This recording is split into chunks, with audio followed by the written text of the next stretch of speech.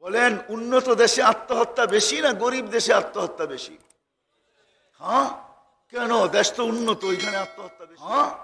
বৃদ্ধাশ্রম কি গরিব দেশে বেশি না উন্নত দেশে বেশি? হ্যাঁ? বৃদ্ধাশ্রমে কি গরিবের মা বাবা বেশি? পাত্তিওয়ালাদের মা বাবা বেশি? পাত্তি চিনেন? পাত্তি আপনারা ঢাকার পাশে বাস করেন। ঢাকায় বাসা আর কি। এডুকেটেড লোকের মা বাবা বৃদ্ধাশ্রমে বেশি না রিক্সাওয়ালার মা বাবা বেশি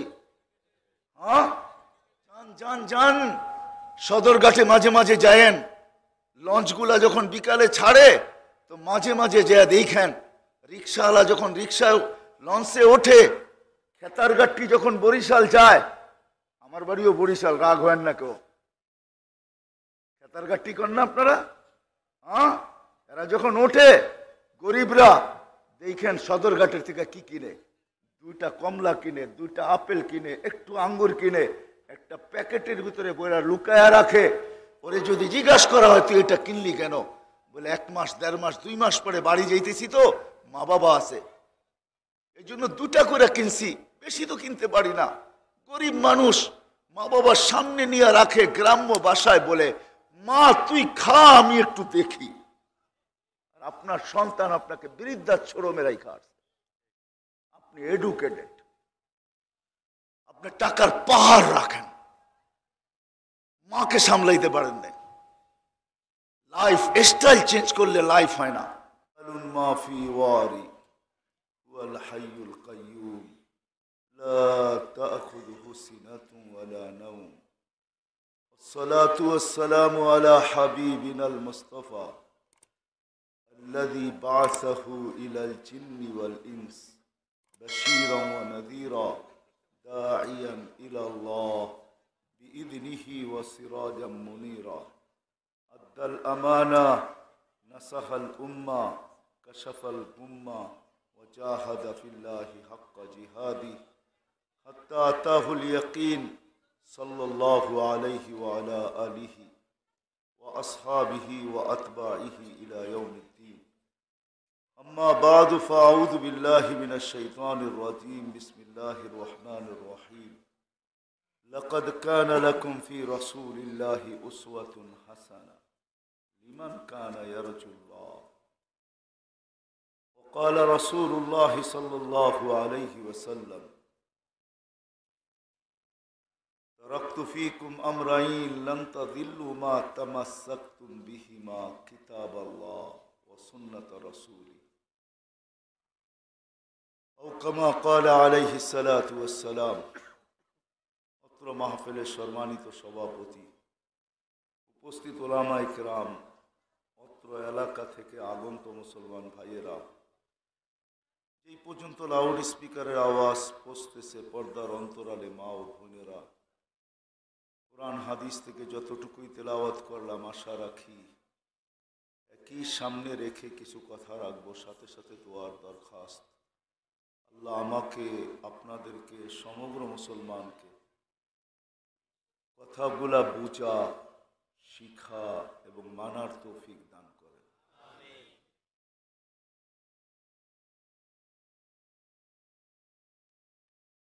বুঝি আর না বুঝি, শিখি আর না শিখি, ভাবি আর না ভাবি এটাই সত্য যে আমাদের জীবনটা অতি ছোট। ষাট, সত্তর বৎসর।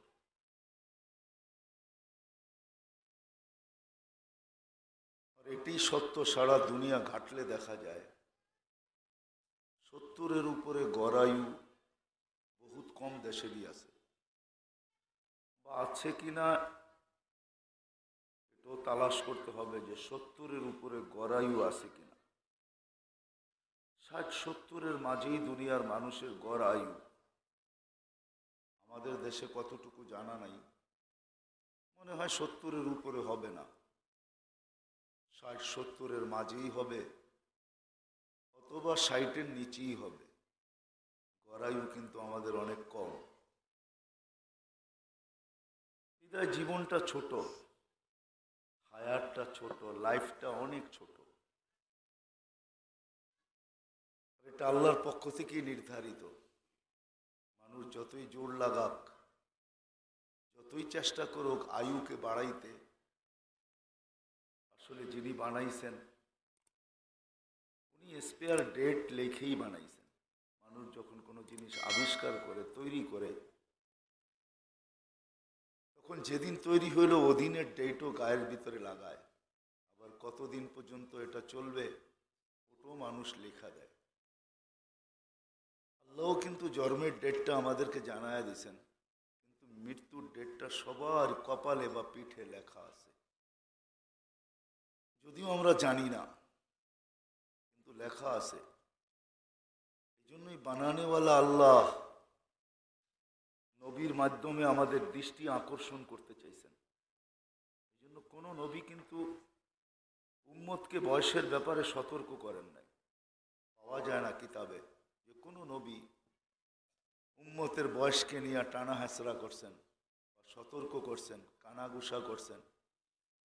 না না না, আমাদের নবীজি আইসা বয়সের ব্যাপারে সতর্ক করছেন। চিৎকার দিয়া বলছেন, আমার উম্মতি বাইনা সিত্তি ও সাবঈন ওয়া কালিলুম মা ইয়াতাজাওয়াজুন। ও আমার উম্মত। আফসোস, আজকে উম্মত নবী চিনে না। নবী যদিও উম্মতকে চিনছিলেন উম্মতের জন্য অনেক কিছু করে গেছেন। সব সুযোগকে কাজে লাগাইছেন। সব সুযোগকে কাজে লাগাবেন। এমনকি কেয়ামতের মাঠেও সুযোগকে কাজে লাগানোর ব্যবস্থা আগের থেকেই করে গেছেন। আর আমাদেরকে শোনায়ও গেছেন। আমি ওইদিকে যাইতে চাই না। কেয়ামতের দিনও আমাদের হয়েই চোখের পানি জড়াবেন। আমাদের হয়েই কাঁদবেন। ওই দিন সুযোগটাকে আমাদের পক্ষেই লাগাবেন, নিজের জন্য না। না নিজের জন্য, না নিজের পরিবারের জন্য, না নিজের গোত্রের জন্য, না নিজের বংশের জন্য, না না না আমাদের জন্য লাগাবেন। আমি যেই দিকে নিয়ে যাইতে চাইতেছি, নবী আমাদেরকে সতর্ক করছেন, তোমাদের বয়স ষাট, সত্তর হবে। এর বেশি যারা পাবে, তারা বড় অল্প হবে, সবাইকে হাতের করে গোনা যাবে। তাহলে বোঝা গেল গড়ায়ু সত্তরের উপরে হবে না, ষাট, সত্তর। এই ছোট্ট জীবনটা যেরকম দুনিয়াটা গুছানো উদ্দেশ্য দুনিয়াটা গুছানো হোক,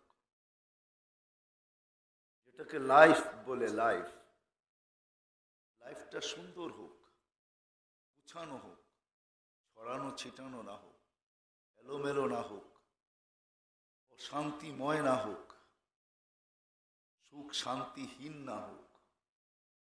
ছোট্ট জীবনটা যেন গুছানো হয়, এলোমেলো না হয়। ঠিক এই জীবনটার উদ্দেশ্য, ছোট্ট জীবনটা যেরকম গুছানো উদ্দেশ্য, তদ্রূপ। পরে যে একটা জীবন আসতেছে, যেটা যদিও আমাদের মেমোরিতে ঢোকে না, আমরা বুঝাইতে পারতেছি না বা বুঝিও না, খুব কম মানুষ বোঝে। শতকরা নব্বই জন মুসলমান বোঝে কিনা এটাও সন্দেহ। যদি নাও বোঝে, তো আমার মনকে আমি সান্ত্বনা এটা দিয়েই দিই। হায়, সব মোবাইলে তো সব প্রোগ্রাম থাকে না। আমার জাতির এইখানেও এই প্রোগ্রামগুলো নাই মনে হয়। যার কারণে জাতি বোঝে না। সব মোবাইলে সব প্রোগ্রাম থাকে না। সব মোবাইলে সব প্রোগ্রাম সাপোর্ট করে না। সব কম্পিউটারে সব প্রোগ্রাম করা যায় না। আবার সিস্টেমও বাহির হয়েছে। অনেক সময় প্রোগ্রাম থাকলেও ওটাকে ফ্লাশ দিয়ে আউট করা যায়। ফ্লাশ যখন দেওয়া দেয় তো আউট হয়ে যায়। আমাদেরও এখানে ফ্লাশ লেগে গেছে মনে হয়। যার কারণে এই প্রোগ্রামগুলোই আউট হয়ে গেছে। এখন বুঝাইলেও বোঝে না। মনে হয় যেন মেমোরি শর্ট হয়ে গেছে। যদিও এই মেমোরি বড় বড় ছিল, বিশাল বড় মেমোরি ছিল। যা দুনিয়াতে আল্লাহ ওপেন করতে চান নাই। এই জন্য কারও দুই পার্সেন্ট কারও তিন পার্সেন্ট কারও পাঁচ পার্সেন্ট সবচেয়ে বেশি যার মেমোরিকে ওপেন করছেন, মাত্র পনেরো পার্সেন্ট বিজ্ঞানকে আল্লাহ বাধ্য করছে এই কথা বলতে। একটা পিনের মাথা রাখতে যতটুকু জায়গা লাগে, আমাদের ব্রেনের যে পেনগুলো আছে রকগুলো আছে, অতটুক জায়গার ভিতরে একটা কম্পিউটারের ক্ষমতা আছে, একটা ফুল কম্পিউটার ভরা আছে। আর এই ব্রেনটাকে যে আল্লাহ যে পেনগুলা বা তারগুলা দিয়ে পেঁচাইছেন, এটা কোনো শর্ট তার না, পাঁচ লক্ষ কিলোমিটার এর দৈর্ঘ্য। এইখান থেকে চাঁদে যাওয়া যায়। চাঁদ দুনিয়ার থেকে দুই লক্ষ চল্লিশ হাজার কিলোমিটার দূরে। চাইয়া আবার আইসা এখানে গিরা দেওয়া যায়। এতগুলা তার দিয়া। বিদায় আমি আমার মনকে বুঝাই যে আমার জাতিকে কেন বুঝাইতে পারতেছি না? ভাষা তো এদেরই বলি। এদের বাসাই তো বুঝাইতে চাই। যদিও আমার কাছে শুন নাই। হয়তো কথায় আকর্ষণ নাই। বুঝাইতে তো চেষ্টা করি জাতিকে।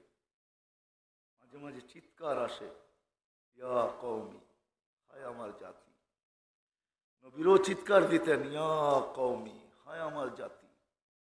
কোরআনে উসুল আছে, দেওয়া যায়, এই চিৎকার দেওয়া যায়।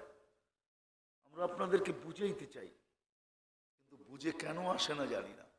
কেন বোঝে না? কর্ণপাতই করে না। এই ছোট্ট জীবনটার উদ্দেশ্য কিন্তু যেমন দুনিয়াটা গুছানো,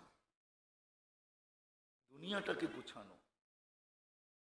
মেরে আপনাদেরকে আমি নিয়ে যাইতেছি। লাইফ স্টাইল পরিবর্তনের দ্বারা জীবন গুছানো যায় না। লাইফ স্টাইল পরিবর্তন করলেই দুনিয়ার জীবনটা গুছানো হয়ে যাবে। এটা একটা ভুল থিওরি লাইফ স্টাইল চেঞ্জ করলেই হায় লাইফ স্টাইল চেঞ্জ করলেই দুনিয়ার জীবনটা সুখের হবে, আনন্দময় হবে। লাইফ স্টাইল চেঞ্জ করলে ভুল থিওরি এটা। লাইফ স্টাইল চেঞ্জ করলে হবে না। আমরা লাইফ স্টাইল চেঞ্জ করতেছি প্রতিনিয়ত, প্রতিদিন, প্রতি মাসে বছরে আমাদের লাইফ স্টাইল চেঞ্জ হইতেছে। কিন্তু সুখ তো আমাদের জীবনে আসতেছে যদিও এই ছোট্ট জীবনটাকে গুছানো উদ্দেশ্য, গুছাইতে হবে। জীবনটা দিছেন এমন না। হায় হায়, কেউ হয়তো ভাবতে পারেন হুজুররা বলবে, আমরা সারা দিন আল্লাহ আল্লাহ করতে করতে মেরা যাই। না না। এই ছোট্ট দুনিয়ার জীবনটা দিছেন এনজয় করতে এনজয় এনজয় করতে দিছেন আল্লাহ। যেটা দিয়ে এনজয় করো। কিন্তু আমরা বলতেছি লাইফ স্টাইল চেঞ্জ হলে এনজয় হবে। কসম খোদার না। এটার সৃষ্টি, এটার আবিষ্কারক মানুষ না। এটার বানানেওয়ালাই, দেহটা বানানেওয়ালা মানুষ না। দেহটা বানানেওয়ালা মানুষ না। কোনো মানুষ বানায় নাই, কোনো কারখানায় তৈরি হয় নাই, কোনো বিজ্ঞান এটাকে আবিষ্কার করে নাই। এটার বানানেওয়ালা আল্লাহ। এক সত্তা এটাকে বানাইছেন।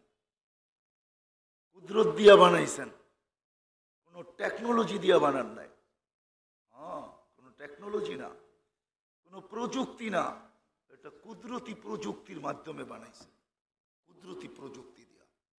এই জন্যই আল্লাহ বলছেন, কোনো এক ক্ষেত্রে মানুষকে বুঝাইতে চেষ্টা করছেন আল্লাহ। ইবনা আদম, মানুষ যখন সব পাওয়ার পরে আল্লাহকে হারায়া যায়, আল্লাহকে ভুলা যায় সৃষ্টির ভিতরে দুই জাতির স্বভাব। সবকিছু পাওয়ার পরে ভুলা যায়। একটা হলো মানুষ, আর একটা হলো মানুষের পাশে জিন। এই দুই জাতি সবকিছু পাওয়ার পরে ভুলা যায়। যার কারণে আল্লাহ চিৎকার দিতে বাধ্য হয়েছেন। কোরআন চিৎকার দিতে বাধ্য হয়েছেন। শব্দ যদিও আল্লাহর জন্য শোভনীয় না। আমার কাছে কোনো শব্দ নাই। আল্লাহ যেন মানুষকে বুঝাইতে চাইতেছেন। ব্যথা ভরা আর্তনাদ দিয়া। ইনসান, মা বিরাব্বিকাল কারীম। আপনি জানেন না এটার ভিতরে কি রাখা আছে? কতটুকু মায়া, কতটুকু মমতা, কতটুকু স্নেহ, কতটুকু ভালোবাসা। নিয়ে আল্লাহ মানুষের সামনে আওয়াজ দিতেছে, ইয়া আইয়ুহাল ইনসান, মা বিরাব্বিকাল কারীম। মানুষ আল্লাদি খলাকাকা, সামনেরটা পড়লে আরও সুস্পষ্ট বোঝা যায়।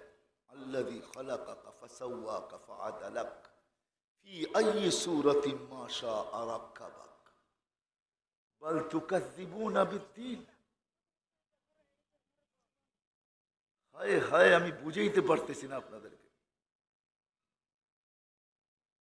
দর্দে দিল বুঝাইতে পারতেছি না। কবির কথাই আমার পক্ষে সত্য। দর্দে দিল কেসে কাহো কুই তো গমো খার নেই। আয় খোদা, তেরে সেওয়া কুই তো মদদগার নেই। আমার দিলের ব্যথা তো কাউকে বুঝাইতে পারতেছি না, আমার জাতিকে। মানুষই আর একটা প্রাণী, সব পাওয়ার পরে হারায় যায়, আল্লাহকে ভুলা যায়।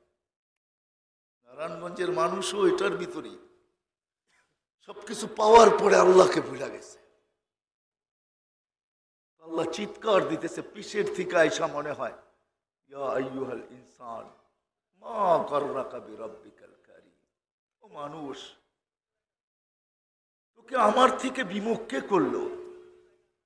রব্বে করিম থেকে উদাসীন কে করল? রব্বে করিমকে ভুলায় দিল কে? রব্বে করিম থেকে তুই হারায় গেলি কি করা? রব্বে করিম থেকে দূরে সরে গেলি কি করা? কদমে কদমে যার প্রয়োজন তোর, শ্বাসে শ্বাসে যার প্রয়োজন রাখিস তুই। মানুষকে আল্লাহ বুঝাইতে চেয়েছে মানুষ, তুই হিরু না, তুই জিরু। আন্তমুল ফকারা। ফকারা শব্দ বোঝা যায় জিরু। মানুষ, তুই জিরু, তুই হিরু না। যদিও সব কিছু পাওয়ার পরে আমি ভাবি আমি হিরু। আল্লাহ বলে, না, তুই হিরু না, এখনও হিরু না, তুই এখনও জিরু। তুই হিরু না, তুই ভাবতেছিস হিরু। জন্য এক হাদিসের একটা শব্দ বুঝলে বোঝা যায়। যখন শ্বাস ছাড়ে আর টানে, প্রত্যেক শ্বাসে ফেরেস্তা জিজ্ঞাসা করে, আমসি কাউ আত্র? আল্লাহ বন্ধ করে দিব। বড় হিরুগিরু দেখাইতেছে, হিরুগিরি। বড় হিরুয়ানা ভাব নিয়ে চলতেছে শাল্য শ্বাস বন্ধ করব। কোরবান যাও মালিকের উপরে। রব্বে কারিমের উপরে কোরবান যাও, উৎসর্গ যাও আল্লাহর উপরে। উচিত ছিল উৎসর্গ যাওয়া, কোরবান যাওয়া আল্লাহর উপরে। আল্লাহ জবাব দেয় উত্তর কলি আবদি আচাল ছেড়া দে, আমার বন্দার জন্য সীমা রেখা দেওয়া আছে। আমি হাদিসের দিকে আপনাদেরকে নিয়ে যেতে চাইতেছি না। প্রত্যেকটা জিনিস কিন্তু আমাদের পক্ষে না, বিরুদ্ধে। আমাদের বিরুদ্ধে বিরুদ্ধে, জমিনও বিরুদ্ধে, আকাশও বিরুদ্ধে, সব আমাদের বিরুদ্ধে, আমাদের দ্বারা সব অতিষ্ঠ। আমরা যেরকম আমাদের দ্বারা অতিষ্ঠ, আছে আমাদের সমাজে কিছু মানুষ আছে, যাদের দ্বারা পুরো সমাজ অতিষ্ঠ। কিছু মানুষ আছে, সর্ব জায়গায়, যাদের দ্বারা মানুষ অতিষ্ঠ। সমগ্র সৃষ্টিও আমাদের দ্বারা অতিষ্ঠ। চলেন হাদিস না বললে বুঝে আসবে না। জমিন প্রতিদিনই আল্লাহকে বলে, আলা কুল্লা ইয়ৌমিন ওয়াল আরদু তাস্তাআযিনু রাব্বা। জমিন প্রতিদিন বলে, আল্লাহ অনুমতি দেন না। কি করবে? ইবনা আদম ফি আমি মানুষকে আমি পেটে নিয়ে আল্লাহ জিজ্ঞেস করে, কেন? জমিন জবাব দেয় ইলামাতা আসবির। আগে দুঃখ বর্ণনা করে। আমি কতদিন সবর করব? ও আতা হাম্মাল, আমি কতদিন এই বোঝা উঠায় রাখব? এটা তো বোঝা হয়ে গেছে, বোঝা। এরা সব বোঝা। জমিন লজিক পেশ করে।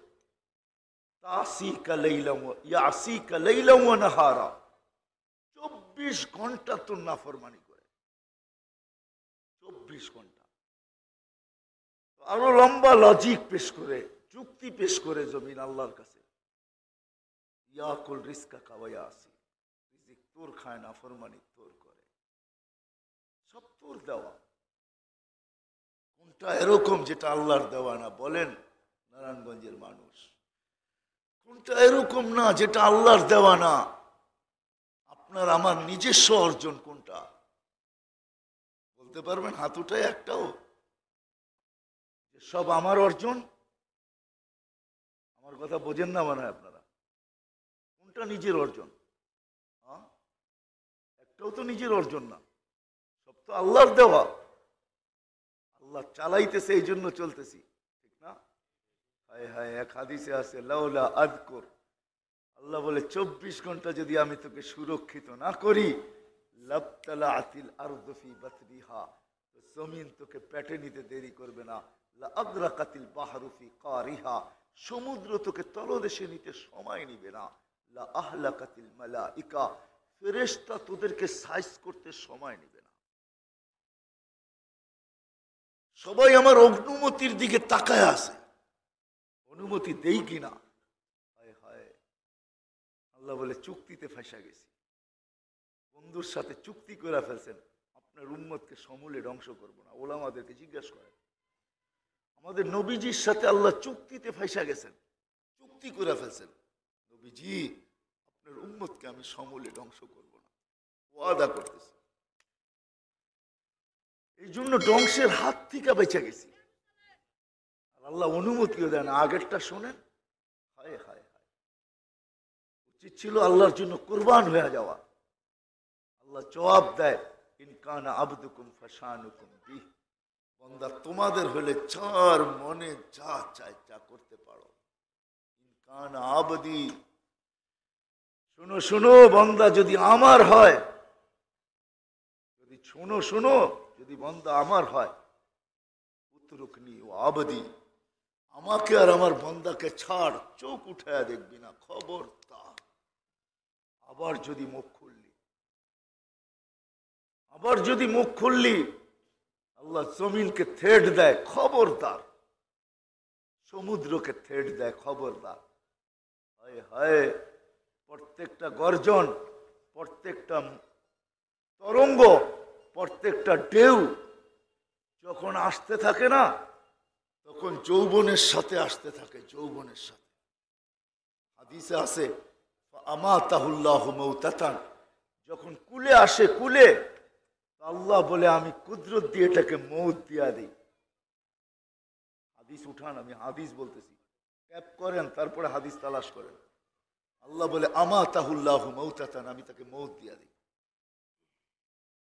হায় নারায়ণগঞ্জের মানুষ, কেমনে বুঝাবো? আশা পড়ছি আমার জাগায় আল্লাহ বলে, আব বন্দা আমার হলে ছাড়ো।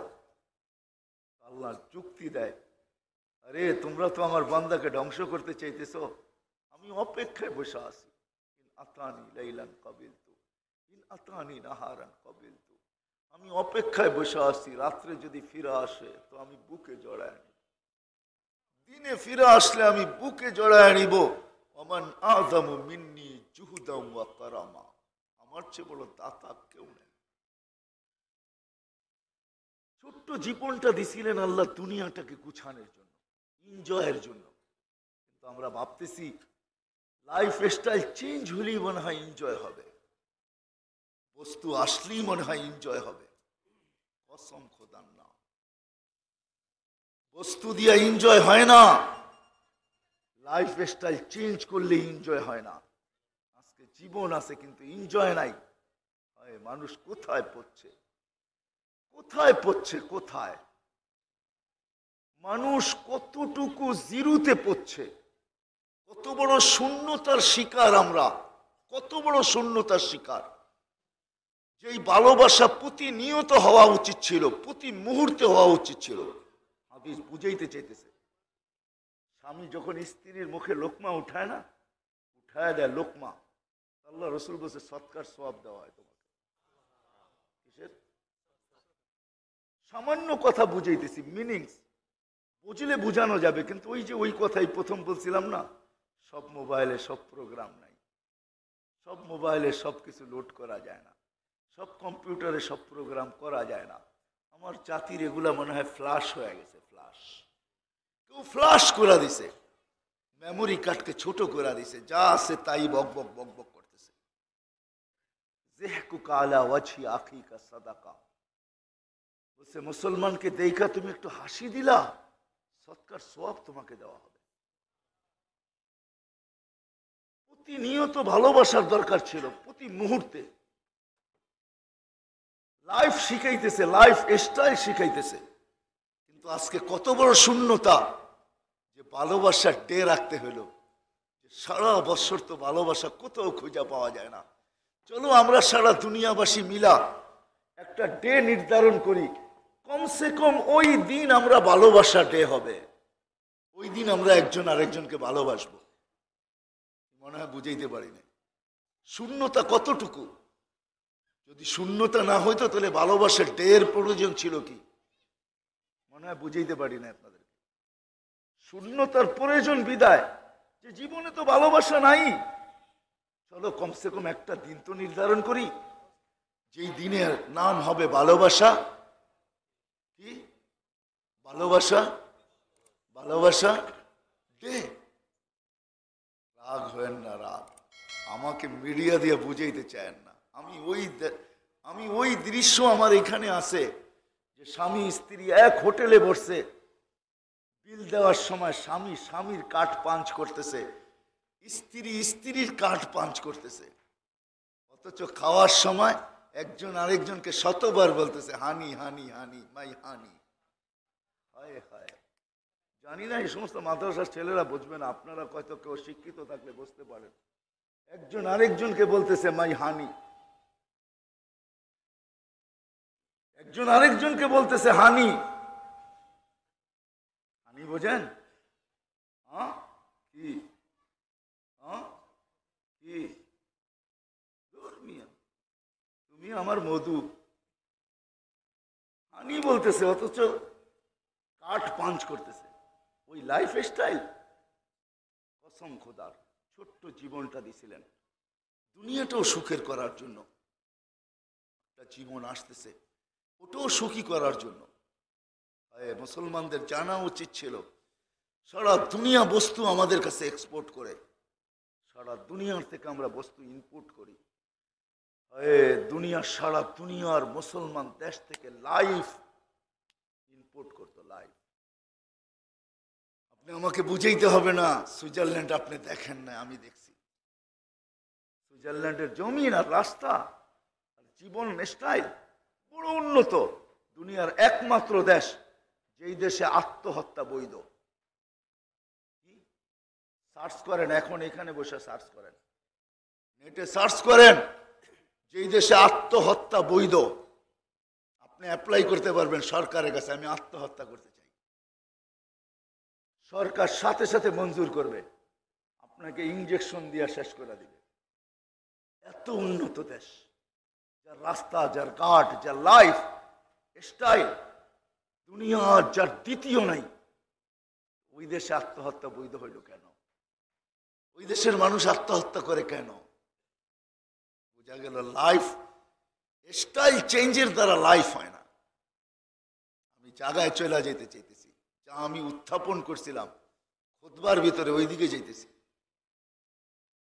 হ্যাঁ বস্তু দ্বারা লাইফ লাইফ স্টাইল চেঞ্জের দ্বারা লাইফ কোনোদিন হয় না।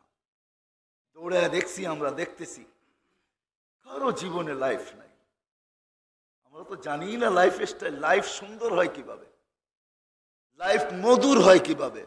জানি না, মুসলমান জানে না আজকে। জানতেও চায় না। যারা জানাইতে চায় তাদেরকে কটক্ষ কটাক্ষ করা হয়।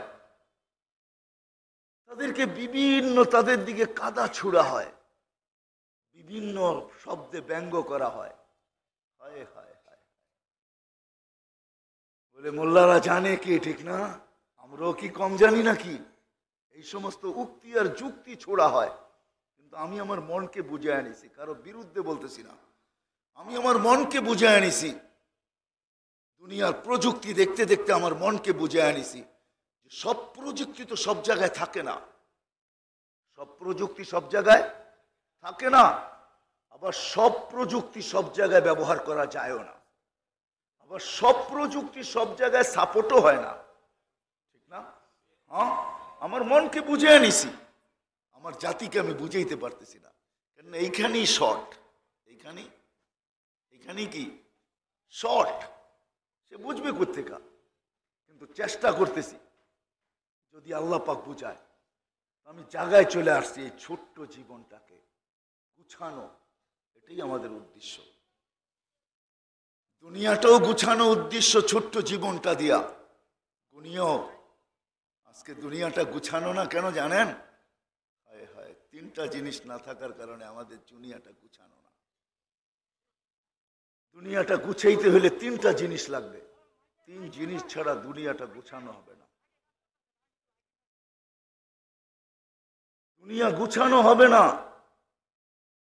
দুনিয়া গুছানো হবে না। হায় হায়, দুনিয়া গুছানো হবে না। তিনটা জিনিস যদি না হয়, কসম খোদার, দুনিয়া গুছানো হবে না। আপনি গুছাইতে পারবেন না। বস্তু দিয়া গুছাবেন গুছানো হবে না। বস্তু কার বাড়িতে না আসে? কিন্তু তুষের আগুন কার বাড়িতে না আসে? বস্তু কার জীবনে না আসে? তুষের আগুন কার বুকে না আসে? কোন সম্পর্ক নিয়ে আমরা সুখী না। কোন সম্পর্ক নিয়ে আমরা সুখী না। কোন সম্পর্ক নিয়ে আমরা সুখী না। কোন সম্পর্ক নিয়ে আমরা সুখী না। কেউ বলতে পারবে না যে আমি সম্পর্ক ভাই বলতে পারবে না, ভাই নিয়ে সুখী। বোন বলতে পারবে না, বাই নিয়ে সুখী। সন্তান বলতে পারবে না, মা বাবা নিয়ে সুখী। মা বাবা বলতে পারবে না, সন্তান নিয়ে সুখী।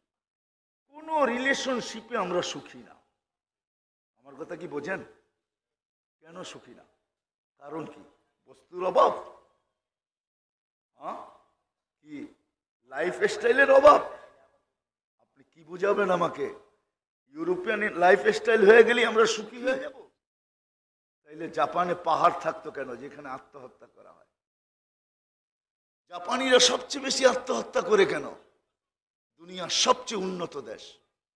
আমি মিডিয়া দেখা বলতেছি না। আমি দুই, দুইবার জাপান গেছি। আমাদের তাবলিগ আলাদের মতো আপনারা কোনো দেশ ঘোরেন না। আমরা তো গলি গলি ঘুরি। আমরা তো বাড়ি বাড়ি যাই। আমরা তো গ্রাম গ্রাম ছাইটা মারি। তালাশ করে বেড়াই। জাপানের কোন জমিন বলতে পারবে না, ওইখানে আমার পাওনা পড়ছে। জমিন বলতে হবে আর পাও এখানে পড়ছে। ওইখানে কেন এত বেশি আত্মহত্যা? বলেন, উন্নত দেশে আত্মহত্যা বেশি না গরিব দেশে আত্মহত্যা বেশি? হ্যাঁ? কেন? দেশ তো উন্নত, ওইখানে আত্মহত্যা বেশি হবে কেন? প্রসাধনী তো ওইখানে বেশি। লাইফ স্টাইল উন্নত, ওইখানে বেশি, ওইখানে কেন আত্মহত্যা? হ্যাঁ? বৃদ্ধাশ্রম কি গরিব দেশে বেশি না উন্নত দেশে বেশি? হ্যাঁ? হায় হায় হায়। বৃদ্ধাশ্রমে কি গরিবের মা বাবা বেশি? পাত্তিওয়ালাদের মা বাবা বেশি? পাত্তি চিনেন পাত্তি আপনারা ঢাকার পাশে বাস করেন। ঢাকায় বাসা আর কি। এডুকেটেড লোকের মা বাবা বৃদ্ধাশ্রমে বেশি না রিক্সাওয়ালার মা বাবা বেশি? হ্যাঁ? এডুকেটেড মানুষের মা বাবা বৃদ্ধাশ্রমে বেশি না রিক্সাওয়ালার মা বাবা বেশি? বলেন, যান যান যান সদরঘাটে মাঝে মাঝে যায়েন, লঞ্চগুলা যখন বিকালে ছাড়ে, তো মাঝে মাঝে যা দেখেন, রিক্সাওয়ালা যখন রিক্সা লঞ্চে ওঠে খেতারঘাটটি যখন বরিশাল যায়, আমার বাড়িও বরিশাল, রাগ হয় না কেউ। খেতারঘাটটি কর না আপনারা? এরা যখন ওঠে, গরিবরা দেখেন সদরঘাটের থেকে কি কিনে। দুইটা কমলা কিনে, দুইটা আপেল কিনে, একটু আঙ্গুর কিনে, একটা প্যাকেটের ভিতরে বইরা লুকায়া রাখে। ওরে যদি জিজ্ঞাসা করা হয়, তুই এটা কিনলি কেন? বলে, এক মাস, দেড় মাস, দুই মাস পরে বাড়ি যাইতেছি তো, মা বাবা আছে। এই জন্য দুটা করে কিনছি, বেশি তো কিনতে পারি না। গরিব মানুষ মা বাবার সামনে নিয়ে রাখে, গ্রাম্য বাসায় বলে মা, তুই খা, আমি একটু দেখি। আর আপনার সন্তান আপনাকে বৃদ্ধাশ্রমে রাখা আপনি এডুকেটেড আপনি টাকার পাহাড় রাখেন। মাকে সামলাইতে পারেন না লাইফ স্টাইল চেঞ্জ করলে লাইফ হয় না। এই জন্য লাইফ চেঞ্জ করার জন্য লাইফ দিয়ে এনজয় করার জন্য আল্লাহ মোহাম্মদুর রসুল্লাহ দিচ্ছেন মোহাম্মদুর রসুল্লাহ একজনের কাছে লাইফ স্টাইল আছে। যদি লাইফ বানাইতে চান, হায় হায়, এখন তো বৎসরে একবার ভালোবাসা ডে করেন, দিন আসতেছে মনে হয়। ভালোবাসার স্যাটেলাইট দিয়ে তালাশ করতে হবে। তখন বৎসরও হবে না, তখন যুগের মাথায় হবে। তখন স্যাটেলাইট দিয়ে তালাশ করবে ভালোবাসা কোথায় পাওয়া যায়। মোহাম্মদুর রসুল্লাহ সাল্লাল্লাহু আলাইহি ওয়াসাল্লাম লাইফ স্টাইল নিয়ে আসছেন একজনের কাছেই আছে লাইফ যদি এনজয় করতে চান এনজয় যদি এনজয় করতে চান লাইফ দুই চারটা দেখানো যাবে। মোহাম্মদুর রসুল্লাহ সাল্লাহ ইসলামের ঘরে তিন তিন মাস চুলা জ্বলে নাই, তিন তিন মাস। তিন তিন মাস চুলা জ্বলে নাই। কোনো স্ত্রী ভাইগা চলে যায় নাই। কোনো স্ত্রী অভিযোগ করে নাই। করছে নাকি? হ্যাঁ? আছে ইতিহাসে? সাহাবাদের ঘরে পেটে পাথর ছিল, কোনো অভিযোগ নাই। লাইফ স্টাইল তো হবে, প্রথম নাম্বার যেটা বলতেছিলাম রিলেশনশিপ যদি ঠিক হয় রিলেশনশিপের যদি হুকুক শিখা হয়, যে অধিকার, হক মোহাম্মদুর রসুল্লাহ সাল্লাহ আসলাম শিখাইছেন। এটা যতদিন মুসলমান না শিখবে, বস্তুর পাহাড় করতে পারে, আপনি উন্নত হতে পারেন। এটা আমি মানি। আপনি উন্নত হবেন ডিজিটাল হবেন, কিন্তু লাইফ হবে না লাইফ আমার এখানে কান্না আছে, কান্না। আমি নিজে দেখছি আমেরিকাতে। বৃদ্ধা বৈশা কানতেছে জিজ্ঞাসা করলাম, কাঁদো কেন? বলছে, ওই যে দেখো, মাকে ছেলে বাচ্চার মতো কোলে করে গাড়িতে বসাইতেছে। আমি জানি না আমার সন্তান কোথায়। হায় হায়। একজন তার মাকে সন্তানের মতো কোলে উঠায় হুইল চেয়ারের থেকে গাড়িতে বসাইতেছে। যারা উন্নত, যাদের লাইফ উন্নত, যাদের লাইফ দেখা আমরা দৌড়াইতেছি, জীবন দেখা আমরা পাগল হয়ে যেতেছি ওটা পাওয়ার জন্য দৌড়াইতেছি। জানি না মানবেন কি মানবেন না। আমি ওই ব্যক্তিকে চিনি ফ্রান্সের। হায় হায় হায়। নব মুসলিম তাকে আমি চিনি। তাকে চিনি আমি, শুধু চিনি না, অনেক কাছের থেকে চিনি। সে আর তার সার তার ওয়াইফ যখন মুসলমান হয়, বাংলাদেশে আসছিল তার ওয়াইফ কেনিয়া। আমাদের তোপখানা রোটে তার ওয়াইফের বয়ান হইতেছিল। যখন সে ফিরা যায়, ওই বৎসরই আমার ফ্রান্সে আমি দুইবার গেছি। আমার ফ্রান্স সফর চলতেছিল। আগের থেকেই তার সাথে আমার সম্পর্ক ছিল, তার নাম বেলাল। তো সে আমাকে ডাইকা বলতেছে, মুফতি, তোমাদের দেশে একটা কাহিনী শোনাবো। আমার আমার স্ত্রী কি উক্তি আর যুক্তি? শোনাও। বলে, আমার স্ত্রীকে যখন নিয়ে গেছি তোফখানা তোমাদের দেশ থেকে এসে আমার স্ত্রী আমাকে বলতেছে, বেলাল, তুমি আমাকে কোথায় নিয়ে গেলা? যেই জীবনকে আমরা থুতু দিয়ে ইসলামে আসলাম, ওই দেশে যে দেখতেছি প্রত্যেকটা মহিলা ওই জীবনকে জিব্বা দিয়া চাটতে চাইতেছে। আমরা তো ওই জীবনকে থুতু মেরে আসছি বেলাল, আমরা তো ওই জীবনে সুখ পাই নাই। সুখ পাই নাই, আজকে আমরা সুখ পাইতেছি। কেন, যখন ইসলাম ছিল না, বেলাল, তোমাকে আমি বিশ্বাস করতে পারতাম না, তুমি বিকালে কোথায় যাবে, সকালে কোথায় যাবে? তুমি বিকালে আমার স্বামী থাকবে কিনা? সকালে আমার স্বামী থাকবে কিনা? আমি বিকালে তোমার ওয়াইফ থাকব কিনা? সকালে তোমার ওয়াইফ থাকব কিনা? আমাদের এরকম একটা জীবন ছিল। ওই জীবনকে আমরা থুতু দিয়ে ইসলামে আসছি। তুমি আমাকে কোথায় নিয়ে গেলা?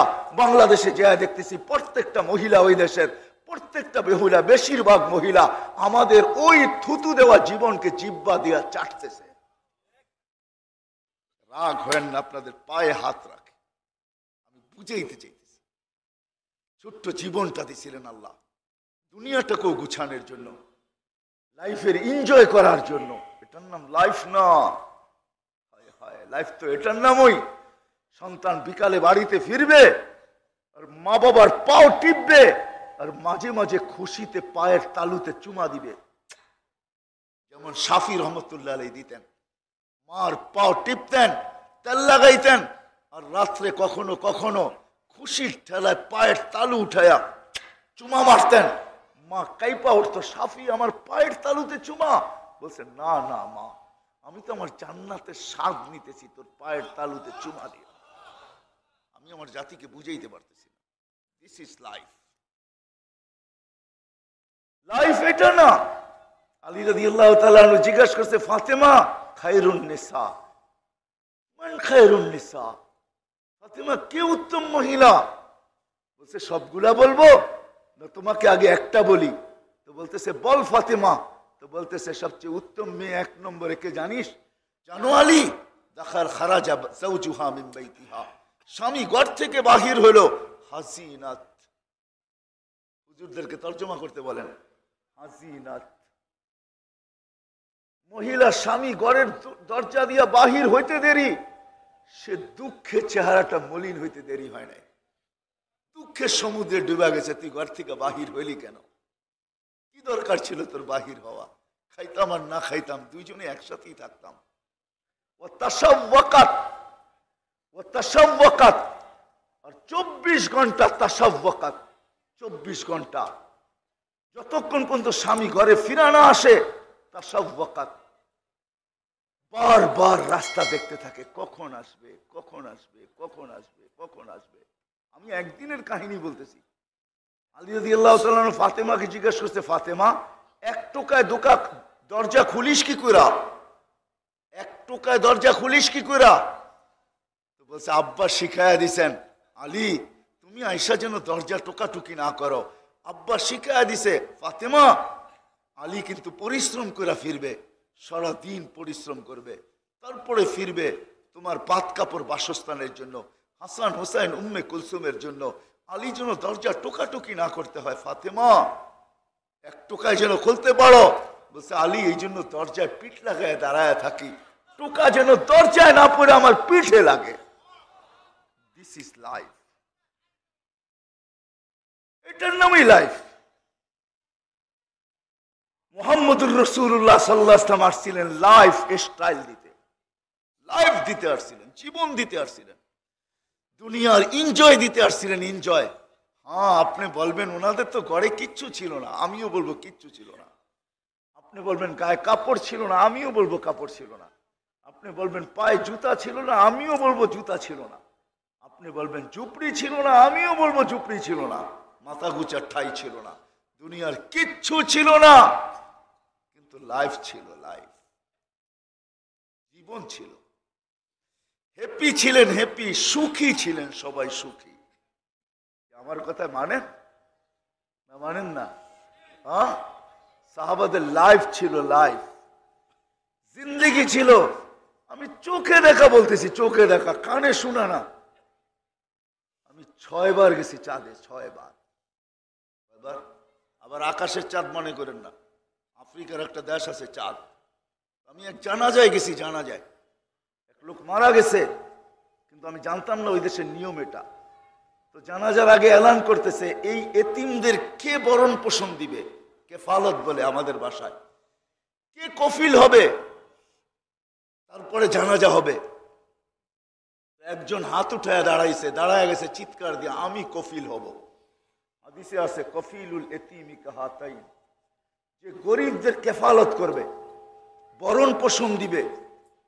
আল্লাহ রসুল বলে, আমি আর সে কেয়ামতের দিন এই দুই আঙ্গুলের ভিতরে আল্লাহ যতটুক ডিস্টেন্স তৈরি করছেন, দূরত্ব এতটুক দূরত্ব হবে।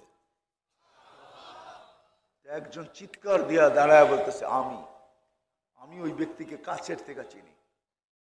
আমাদের সাথী, আমি ওইখানে তখন উপস্থিত। জানাজা শেষ। আমি তাকে জিজ্ঞেস করলাম, তুই তো গরিব, নিজেই খাইতে পাস না, তুই কফিল হলি কি করা আমাকে বলতেছে, মুফতি, তুমি মনে হয় হাদিস উদিস পড়ো না, এমনি মুফতি হয়ে গেছো। আমাকে চিৎকার দিয়া বলতেছে, তুমি পড়ো না আনা ওয়া কফিলুল এতিমি কাহাতাই। আমি আর এতিমের কফিল এরকম। তো বলতেছে, শুন, আমি এক রুটি কামাইতে পারি, এক রুটি সবাই ভাগ করে খাব। দিস ইজ লাইফ যে সমাজের মানুষ এরকম মনোভাব হয়, ওইটা হলো সমাজ। ওই সমাজের মানুষের হলো লাইফ জীবন। আসেন, ছোট্ট জীবনটা আল্লাহ দিছেন। কথা লম্বা করতে চাইতেছি না। ছোট্ট জীবনটা আল্লাহ দিছেন। দুনিয়াটাকেও গুছানোর জন্য। যেন দুনিয়াটা গুছাইতে পারি। আজকে গুছানো না, এলোমেলো। এটার জন্য প্রথম যেটা লাগবে সবাই শিখতে হবে।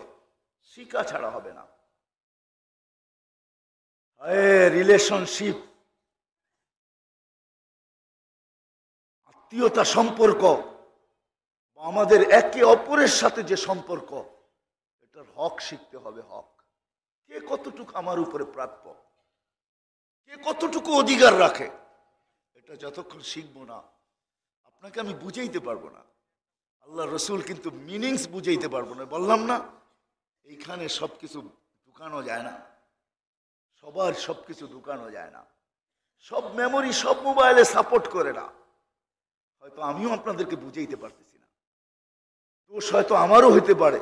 না, আমি বুঝাইতে পারতেছি, এই জন্য বুঝতেছেন না। অথবা হবে যে বুঝার মতো ক্ষমতাই আমরা হারায় ফেলছি। আল্লাহ রসুল গরিবদেরকে বলছে বিস আল ফকির আলা বাবিল আমির নিকৃষ্ট ফকির যে গরিবের কাছে যে হাত পাতে। আর গরিবদের, ধনীদেরকে বলছে, তুবাল আমির আলা বাবিল ফকির। ওর চেয়ে উত্তম কোন ধনী নাই যে গরিবের দরজায় যায়, ঠক ঠক ঠক ঠক করে।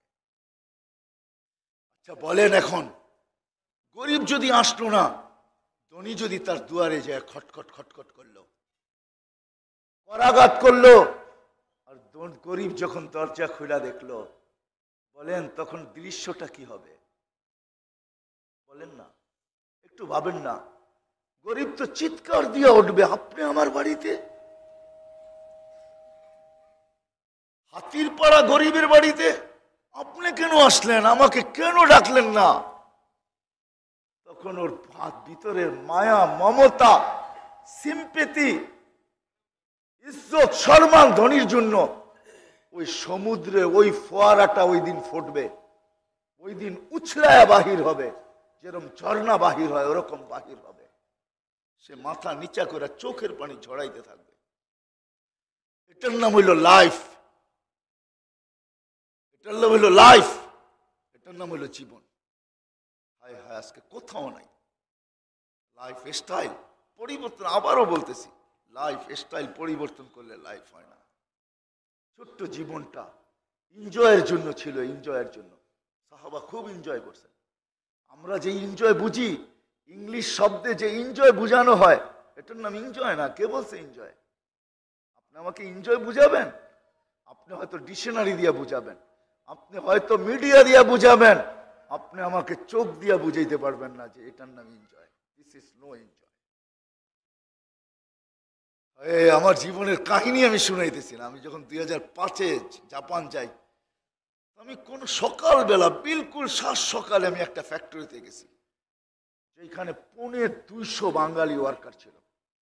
আমি ফ্যাক্টরিতে যখন ঢুকি, উপরেই থাকার জায়গা ছিল বাঙালিদের। আমার প্রোগ্রাম ছিল ওইখানে, ফজরের পরে। কেন ওইখানে লাইফের সময়ের বড় দাম বলছে, ফজরের পরে দিতে পারব। ওকে। যখন আমি ঢুকছি তখন দেখতেছি এক মহিলা পুরা ফ্যাক্টরিকে ওয়াশ করতেছে।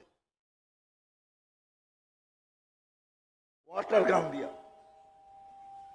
ফুল স্পিডে পানি বাহির হইতেছে, ওয়াশ করতেছে। আমি উপরে যেয়ে জিজ্ঞেস করছি, এটা কে? এই মহিলাকে এই সাত সকালে শীতের ভিতরে পুরা পোশাক, পুরা পুরা কারখানা ওয়াশ করতেছে নিচে। লেদার তো, লেদার ফ্যাক্টরি। ওয়াশ করতেছে। সবাই হাসতেছে আর বলতেছে, আমাদের মালিকের স্ত্রী। আমার জানা ছিল না, আমি মনে হয় আকাশ থেকে পড়ছি, যার এত বড় ফ্যাক্টরি তার স্ত্রী ওয়ার্কার সে এসে ওয়াশ করে। আপনি হয়তো হাইসা বলবেন, এটাই তো উন্নতি উন্নতি করতে হলে এটাই তো করতে হবে, ঠিক না?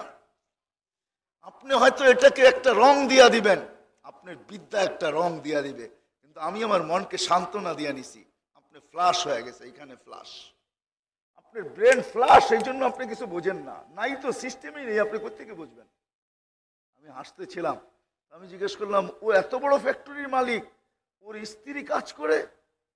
বলছে, ও মাসের শেষে যে জুয়া খেলবে ডেলি যে জুয়া খেলবে, ও পয়সা পাবে কোথায়? মদ খেলবে, মদ খাবে, ও পয়সা পাবে কোথায়? ও যে এনজয় করবে, ওটার পয়সা পাবে কোথায়? এই জন্য ও কাজ করতেছে। আমাদের চেয়ে ওর স্যালারি দ্বিগুণ। স্বামী স্যালারি দেয়। আমি লানত স্বামীর উপরে আর লানত স্ত্রীর উপরে। জিন্দেগি? আল্লাহ আমাকে পয়সা দিছে, অর্থ দিছে। আমার স্ত্রী দুনিয়া তো রানী, আখেরা তো রানী।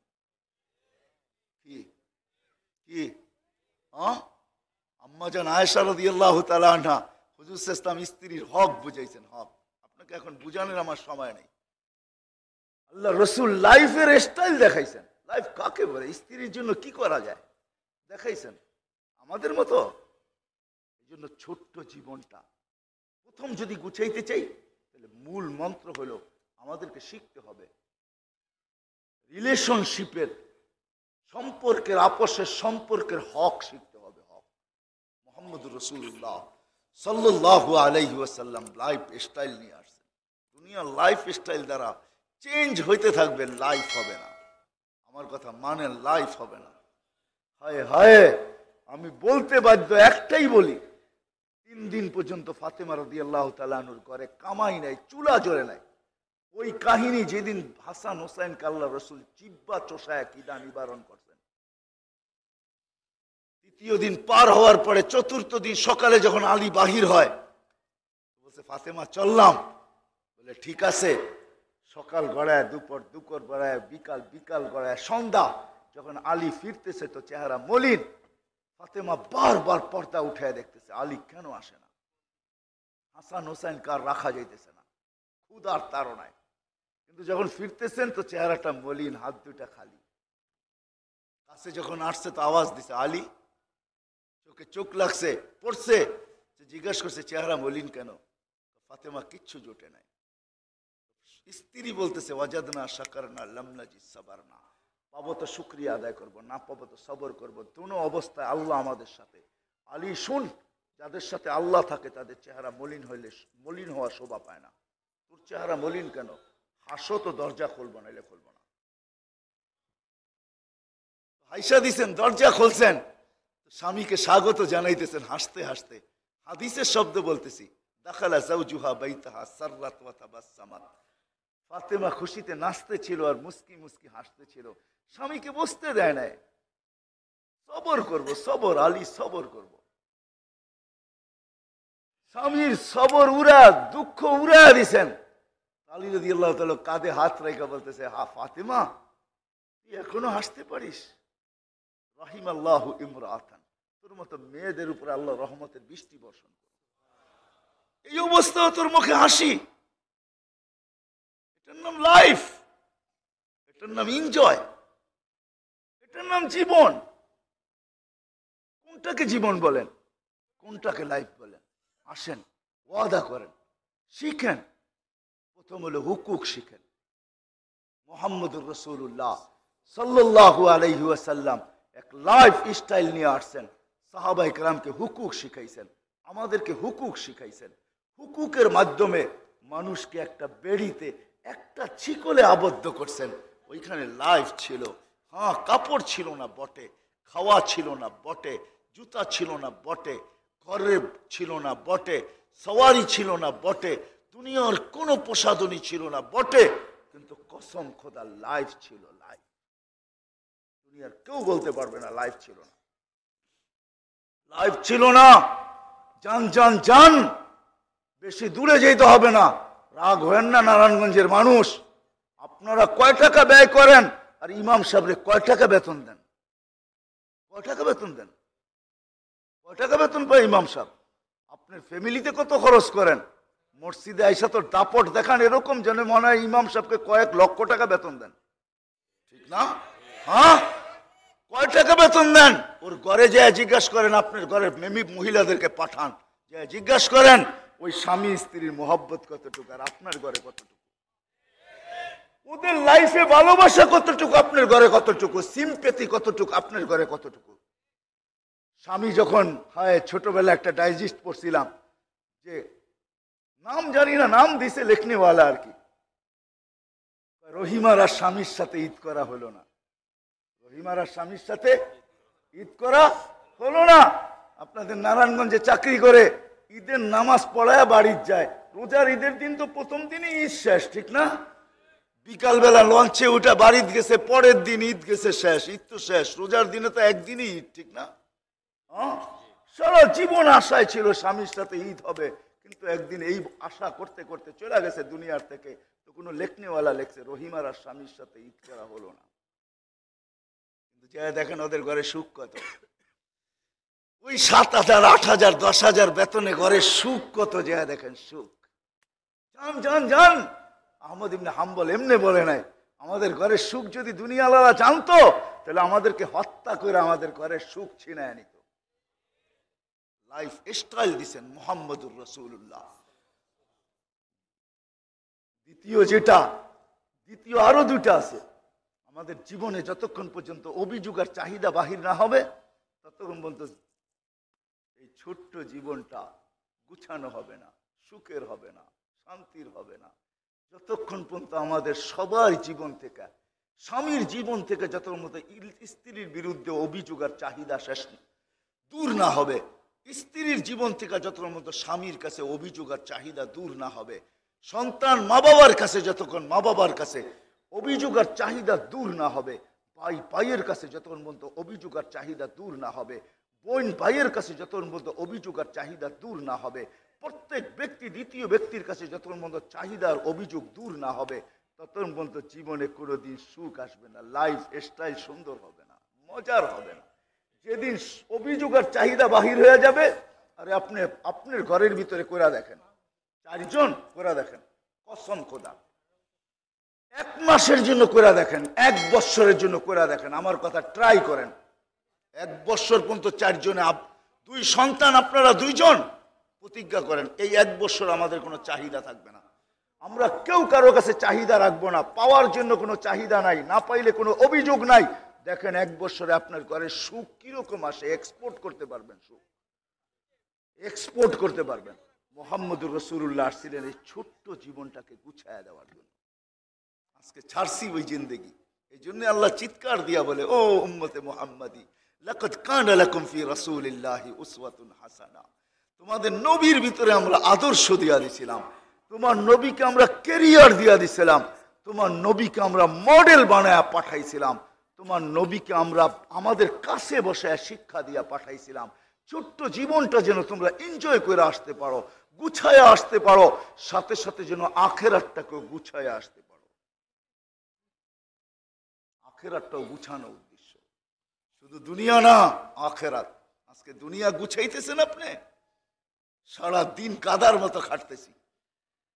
দুনিয়া গুছাইতেছেন ষাট, সত্তর বছরের জীবন। এটা গুছাইলেও কাটবে, না গুছাইলেও কাটবে। ওই আফ্রিকার জঙ্গলে যাদেরকে দেখে আসছি, ওদেরও কাটে। হায় হায়। মাঝে মাঝে হাসিও লাগে, একা একা হাসি, কাউকে বলতেও পারি না। কেমরুনে একটা এলাকা আছে, প্রায় আড়াই, আড়াইশো কিলোমিটারের মতো।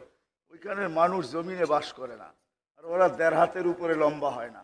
আর ওরা মার পেটের থেকে যেরকম আসে, ওরকম ছাড়া আর কোনো পোশাক পরে না।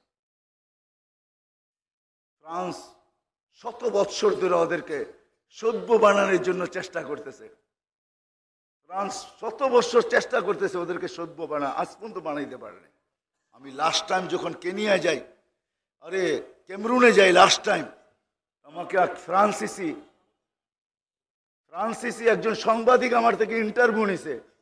ষাট, সত্তর জন তখন দেড়াইতা ইস্তেমায় আসছে, জুব্বা পোড়া পাগড়ি পোড়া দাড়ি লয়া জ্যাবের ভিতরে আবার মেসওয়াকও দেখা যায়। ষাট, সত্তরটা সত্তরটা যখন আসছে, সবাই বলছে, একজন ফ্রান্সিসি সাংবাদিক ইন্টারভিউ নিবে। সবাই আমাকে আগে করছে যে এক কাছ থেকে নাও। আমাকে বলতেছে, এগুলাকে মানুষ করলা কি করে আমি কি জবাব দিব? আল্লাহ যা সুলজাইছে তাই দিছি। আমি বলছি, তোমাদের কাছে পরশ পাথর নাই, আমাদের কাছে পরশ পাথর আছে। তো বলছে, পরশ পাথর কি? আমি বলছি, তুমি হয়তো বুঝবে না। একটা পাথর পাওয়া যায় স্টোন পাওয়া যায়, যেটা লোহায় লাগাইলে সোনা হয়ে যায়। ওটা যদিও প্রবাদ বাক্য, কিন্তু অস্তিত্ব নাই ওটার।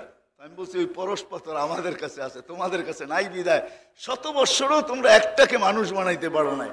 বলছে, ওই পরশ পাথর কি? আমি বলছি ইলাহা ইল্লাল্লাহ মুহাম্মাদুর লা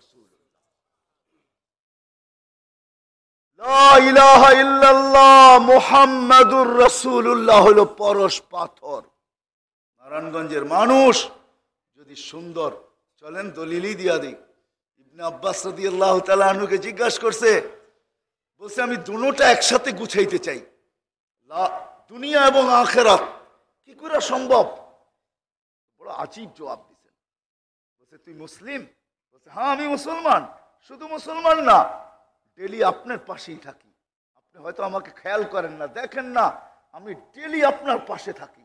আপনার কোনো দর্শ, কথা আমার থেকে লুকায়িত নাই। আমি সারাদিন আপনার পাশে থাকি। আপনার মজলিসে থাকি, আপনার সৌবতে থাকি। বলছে, শুন, আমাদের দিন রাত্র কতক্ষণ চব্বিশ ঘণ্টা। দিন রাত্র কয় ঘন্টায়? কয়টায়? কয় ঘণ্টা? কয় ঘণ্টা? চব্বিশ ঘণ্টা। আমাদেরকে একটা কালেমা দিছে, চব্বিশ হরফওয়ালা বারো রসুল্লাহ বারো। বলে, তোর জীবনটাকে এই কলেমার উপরে উঠে আনে। তোর চব্বিশ ঘণ্টার জীবনও গুছায়া যাবে, আখেরাতও গুছায়া যাবে। আল্লাহ দুটা গুছানোর জন্য দিছিলেন মোহাম্মদুর রসুল্লাহ এই জন্যই বলছেন, লাকাদ কান আলাকুম ফি রাসূলিল্লাহি উসওয়াতুন হাসানা। ও নারায়ণগঞ্জের মানুষ, নবীকে ছাড়ছি, শুধু লাইফ স্টাইলের উপরে নির্ভর করছি। আজকে চেঞ্জ করতেছি লাইফ স্টাইল চেঞ্জ করতেছি। আর ভাবতেছি সুখী হয়ে যাব? না না না, কসম খোদা, এটা আল্লাহ বানাইছে, আল্লাহ। কোন মানুষ বানায় নাই। মানুষের বস্তু দ্বারা এটার স্টাইল যতই চেঞ্জ হোক, উন্নতি হইতে পারে। কিন্তু জীবনে সুখ আসবে। জীবনে শান্তি আসবে না। জীবনে সুখ আসবে না, শান্তি আসবে না লাইফ আসবে না। জীবন হবে না। জীবন হবে না। যদি হইতো, হায় হায়, আমি আপনাদেরকে কীভাবে বুঝাবো? কীভাবে আপনাদেরকে আমি বুঝাবো? কেমনে বুঝাবো? এই লাউড স্পিকার আমি বলতেও পারব না আপনাদেরকে। বলতেও পারব না, এটার নাম জীবন না, এটার নাম লাইফ না। আমাদের কাছে চিঠি আছে চিঠি আছে আমার কাছে চিঠি চিঠি চিঠি লেখছে হুজুর আমরা জাহান নামের কিনারে আছি ও ইসলামিক স্কলার আমরা জাহান নামের কিনারে আছি আমাদেরকে বাঁচাও আমরা বাঁচতে চাই আমাদেরকে বাঁচাও আমাদেরকে শেল্টার দাও আমাদেরকে বাঁচায় নিয়ে যাও আমরা লাইফের শেষ সীমানায় পৌঁছে গেছি ও মেরে আজিজো, দম দৌলত শোহরত। এটার নাম লাইফ না। শোহরত বোঝেন তো? হ্যাঁ? হ্যাঁ? কি, শোহরত বোঝেন না? হুম? বুঝেন না শোহরত? হ্যাঁ? সারা দুনিয়ায় নাম ছড়ায় যাওয়া, মিডিয়ার হেডলাইন হওয়া, এটার নাম শোহরত, মিডিয়ার কি? হেডলাইন হওয়া, এটার নাম কি? এটার নাম কি? শোহরত। মিডিয়ার আকর্ষণের পাত্র হওয়া শোহরত দ্বারা জীবন হয় না। শূন্য শূন্য। আমি ওই সিঙ্গারকে চিনি, ইউসুফ সিঙ্গার, লন্ডনের। দুই হাজার আঠারো ওর সাথে আমার সাথে সময় লাগাইছি আমি আমেরিকাতে। আমি সিঙ্গার ইউসুফকে জিজ্ঞাসা করছি, ইউসুফ, মুসলমান এখন হয়ে গেছে। জোনায়েদ জামশিদকে তো চিনেনি, ঠিক না? হ্যাঁ ইউসুফকে আমি চিনি লন্ডনের সিঙ্গার, আমার একসাথে আমি সময় লাগাইছি সাথে। আমাকে বলতেছিল, মুফতি সাহেব, ইংলিশে বলতেছিল, কিছু তো বুঝি ইংলিশ পুরা না বুঝলো। কিছু তো বুঝি? তর্জমান ছিল, বলতেছিল মুফতি সাহেব। সৌরত ছিল আমার, আমি সিঙ্গার ছিলাম, সিঙ্গার। সৌরত ছিল আমার, মাল ছিল। হাজার হাজার পাউন্ড পাইতাম এক একটা গানের উপরে। কিন্তু ভিতরটা শূন্য ছিল, শূন্য। ভিতরটা খালি ছিল, খালি। সুখ ছিল না আমার ভিতরে। বলতেছিল, ওই ইসুফ সিঙ্গার নাম দেখেন, আপনি দেন সার্চ, এখনও পাবেন। বলতেছে, যেদিন মোহাম্মদুর রসুল্লাহর কলেমা পড়ছি, মনে হয় আমার ওই শূন্য জায়গাটা জানি কে ভরা দিছে আমরা দৌড়াইতেছি আমরা দৌড়াইতেছি উন্নতির দিকে। উন্নতির দিকে দৌড়ান আমার কোনো আপত্তি নাই। আপনি লাইফ স্টাইল চেঞ্জ করতেছেন, মোহাম্মদুর রসুল্লাহ লাইফ স্টাইলকে ছেড়া। আর আপনি থাকবেন সুখে। আপনার লাশ আপনার সন্তানের হাতে পাঁচ টুকরা হবে না তো কার হবে? আপনার জান আপনার সন্তানের হাতে যাবে না তো কার হাত যাবে? আপনার ভাই আপনাকে কাঠগোড়ায় দাঁড় করাবে না তো কে করাবে? আপনার আপনজন আপনাকে হেনস্থ করবে না তো কে করবে? আপনি তো মোহাম্মদুর রসুল্লাহর সাথে বিটরে করছেন। যে মোহাম্মদুর রসুল্লাহ সাল্লাহ আলাইহি ওয়াসাল্লাম একের ভিতরে একশো ঢুকায় দিছে। একের ভিতরে একের ভিতরে একের ভিতরে। বুঝে আসে আমার কথা? এক এক, আরে বলেন না, এক এক, একশো এক, একশো। প্রথম আল্লাহ বলছেন বল হাসানা তুমি আশারিয়াম সালিহা বন্ধু, আপনার রুমের জন্য একে দশ। একে দশ করলেই হান্ড্রেড, দশ করলেই একশো। আল্লাহ রসুল মানেন নাই। বলছে, না না একটু বাড়ায় দেন না। বলল, একই একশো দিয়া দিতেছি লন এক একশো, এক এক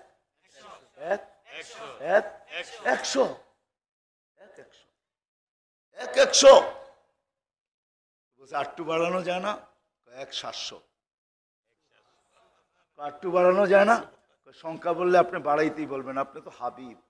আপনার লোক এস করে ফেলছি, এস। কে এস করছে? কে এস করছে? আল্লাহ এস করছে আমাদের নবীজি এস বুঝেন, এস? এস বুঝেন না। দুনিয়ার এস্ক বোঝেন, যে এসকে বোতল পর্যন্ত পৌঁছায় দেয়। যুবকরা বোঝে, বোতল পর্যন্ত, বোতল বোঝেন? বিষের বোতল পর্যন্ত পৌঁছায়। যে এস্ক গলার ভিতরে ফান্দা লাগায় দেয়। আল্লাহ এস্ক করছে বন্ধুর সাথে। বলছে, বন্ধু বান্ডই উঠে দিয়া দিলাম লোয়ালন সংখ্যা রাখব না, বেকার হিসাব এটার নাম এক, একশো দিছেন এক, আমি আপনাদেরকে দেখাইতেছি। হাদিস দিয়ে দেখাইতেছি। আল্লাহ বন্ধুকে বলছে, বন্ধু, আপনার উম্মতকে এক, একশো। আউ্বালুমা ইউহাসাবুল আব্দু ইয়াউমাল কিয়ামাতি as-সালাহ কিয়ামতের দিন আপনার উম্মতের শুধু নামাজ হিসাব করব। যদি নামাজ ওকে পাই, তো তার জিন্দেগি ওকে এক, একশো। ফাইদা সালুহা সালুহা সাইরুল আমাল। এক, একশো! দিছিলেন আল্লাহ। এক রমজান বন্দেগি করো পুরা এক মাস সত্তর মাস। হ্যাঁ? এক রাত্র পুরা জিন্দগি, তিরাশি বছর। দিছিলেন। কিন্তু কে মানে? আজান হয়। কোন ঘর আছে এরকম? নারায়ণগঞ্জে? দেখাইতে পারবেন? যে হান্ড্রেড পার্সেন্ট পাঁচ অক্ত নামাজি। হ্যাঁ? হ্যাঁ? কি? কে ডাকে নামাজের জন্য? কে ডাকে না না না না, আমাদের এখানে বসে আছে কি জানেন? মোয়াজ্জেন ডাকে এই জন্য বলে মোয়াজ্জেন ডাকে গেলেও গেলাম না গেল না গেলাম। আমরা বিশ্বাস করি না যে আল্লাহ ডাকে। কে ডাকে? আল্লাহ ডাকে যদি বিশ্বাস করতাম। হায় হায়, দুনিয়ার পদস্থ লোক ডাকে, এক হাতে লঙ্গি দৈরা দৌড় দিতে থাকেন, ঠিক না? আল্লাহ ডাকে, মসজিদে আসে না। এক, একশো ছিল, এক। তারপরও পালতেছে কিসমত আমাদের। মোহাম্মদুর রসুল্লাহ দেখে কিসমত আমাদের। নাইলে ধ্বংস করে দেওয়া উচিত ছিল। আসেন, মোহাম্মদুর রসুল্লাহ সাল্লাহ আলাইহি ওসাল্লাম এর কেরিয়ারে এই ছোট্ট জীবনটা গুছানো হবে আর ওই লম্বা জীবনটাও গুছানো হবে। যদি আমার কথা পুঁজি আইসা থাকে আল্লাহ রসুলের জিন্দগি শিখেন। আল্লাহ রসুলের সিরত পড়েন। আল্লাহ রসুলের কেরিয়ার পড়েন। আল্লাহ রসুলের জিন্দগি পড়েন, কার সাথে কি ব্যবহার এটা শিখেন, পাওয়া যায়, সবকিছু আছে অস্তিত্বে, শিখেন, ব্যবহার করেন। দেখেন লাইফ কীরকম হয়, জীবন কীরকম হয় ইনশাল্লাহ এটা দ্বারা সারা দুনিয়া আমাদের দিকে ছুটে আসবে।